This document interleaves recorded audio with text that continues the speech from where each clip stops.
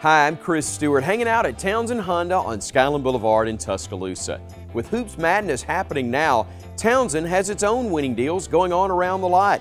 From 2018 Hondas to a selection of pre-owned vehicles, Townsend Honda's first string is ready for a full court press. Shopping at Townsend Honda is always a slam dunk. Come see us today on Skyland Boulevard or visit townsendhonda.com.